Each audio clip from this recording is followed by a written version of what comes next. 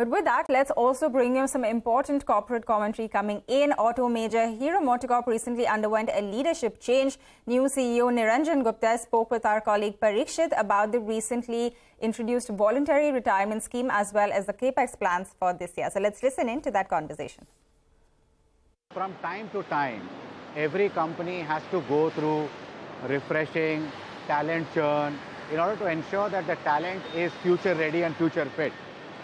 We had not done that in Hero for a long time.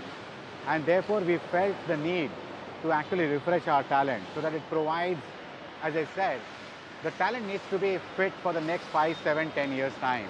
And it was that exercise which was done, which was the management VRS.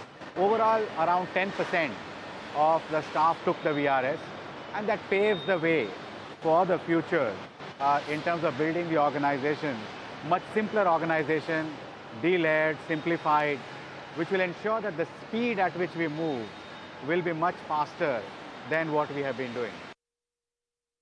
Given the framework of EV that's changing rapidly, whether it's in terms of customer, whether it's in terms of uh, regulatory, or the battery side, the cost side, uh, or the FAME that, that everyone is aware of, I can only say that don't go by the current leadership in the market it's going to change dramatically over the next three years. And typically, we have given the guidance of between 1,000 to 1,500 crores a year.